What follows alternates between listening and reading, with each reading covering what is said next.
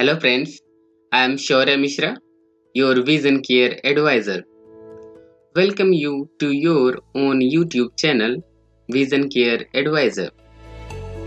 Today, we will talk about most commonly asked question that if you are wearing wrong prescription, so your eyes will be damaged.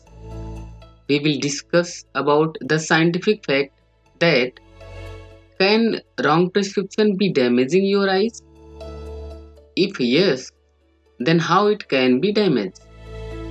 And if the wrong prescription can't be damaged, then how it can't? Friends, before starting the video, if you like our content, please do like, share and subscribe our channel and press the bell icon so that as soon as our new videos comes you will get the notification. So let's get started. Friends eyeglasses can change the path of the light rays that our eyes receive. They don't change any part of the eye itself. Wearing glasses that are too strong or wrong they can't harm an adult eye but can cause unnecessary discomfort.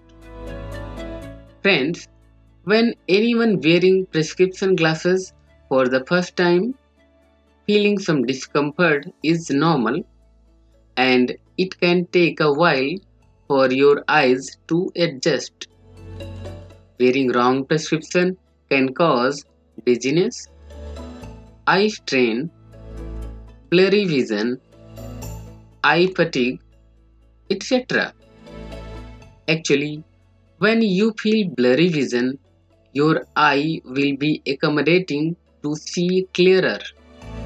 When, if you have incorrect prescription, so your eye muscle start working more and that will result to start pain around your eyes and headache etc.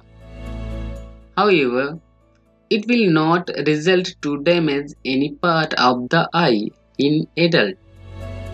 In children below 18 years of age, research clearly shows that wearing wrong prescription have shown to cause an increase in myopia.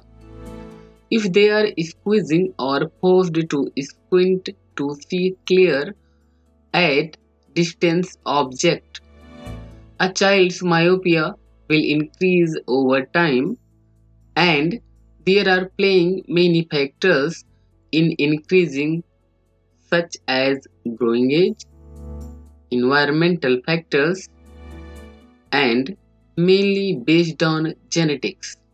A child's myopia can be worse without wearing the correct prescription. Thank you for watching. Do remember to get check your vision yearly and see the world clearly.